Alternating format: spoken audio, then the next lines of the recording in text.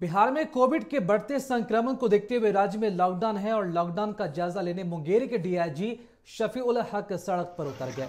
इस दौरान मटर गश्ती कर रहे लोगों से उन्होंने उठक बैठक भी कराई। वहीं ड्यूटी कर रहे पुलिस के जवानों से उनका हालचाल भी जाना। इसके बाद कार्यालय जाने के दौरान डीआईजी ने तीन प्रशिक्षु दारोगा को मटर गश्ती करते हुए भी पाया। जब उनसे पूछताछ की गई तो उन्होंने अपनी ड्यूटी कही और लगे होने की बात भी कही। इससे नाराज़ डीआईजी ने तीनों को निंदन की सजा दी है। कर रहे थे वो। गाड़ी देखकर भी वो जाकर अनजान ही कर रहे थे। और उनमें से तीन में से दो ने टोपी भी नहीं पहनी हुई थी। टोपी उनके पास थी भी नहीं। तो तीनों को मैंने पनिशमेंट दिया है जाकर।